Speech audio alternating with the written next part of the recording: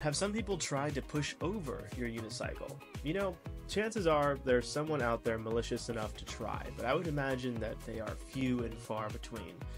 This isn't something that I really ever worry or even think about. In fact, people who have cause to worry are the ones on the ground around the unicycle, and it's for this reason that I am extra, extra careful around them. They didn't ask to be put in this situation, so I always prioritize their safety. Now, my giraffe unicycles elicit many different emotions from people. There's shock, excitement, joy, indifference, sometimes even loathing, but for the most part, many people seem a little apprehensive and nervous when I'm close to them because they don't want me to fall on them, which makes sense.